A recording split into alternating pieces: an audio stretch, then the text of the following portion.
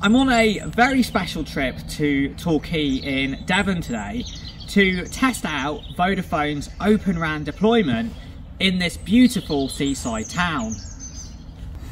Open RAN is a radical departure from architectures of old through its use of open and interoperable interfaces between elements that allows for a disaggregated approach to deploying mobile networks.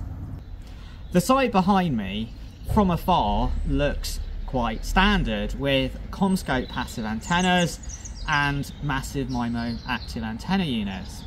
However, when we zoom in closely, we can see there's a Samsung logo on the active antenna units, as well as on a number of the remote radios below the passive antennas as well. Now, in this area of the UK, Vodafone typically deployed Huawei as their radio access network vendor. So immediately from that, we know that there is something significant going on here. Samsung is one of Vodafone's key Open RAN partners, providing 4G and 5G radios as well as the software platform that is being used here. Vodafone, Samsung and partners have gone absolutely to town at this site with it having 4G on 800 megahertz, 900 megahertz, 2100 megahertz, and 2600 megahertz, as well as 90 megahertz of N78 5G with massive MIMO as well. Crucially then, how does it perform?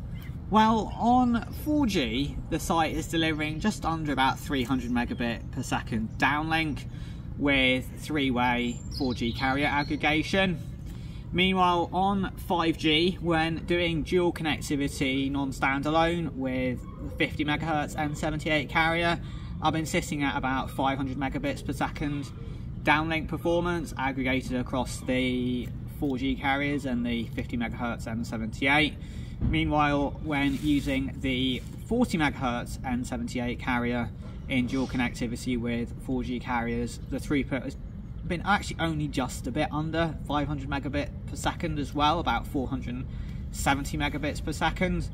Curiously, the N78 5G on this site has the 50 megahertz carrier 3410 to 3460 megahertz and the 40 megahertz one from 3720 to 3760 megahertz, which is different to the more standard 90 megahertz Vodafone configuration now, which has the 50 megahertz carrier once again at 3410 to 3460 but then the second 40 megahertz carrier at 3500 megahertz to 3540 megahertz which is the post trade configuration following a spectrum trade with telefonica which i will do a separate video about but nonetheless the two carriers at this site being so far apart spectrum wise is potentially why I'm not seeing NR carrier aggregation. In other words, using both the 40 MHz and the 50 MHz NR carriers and dual connectivity with 4G here.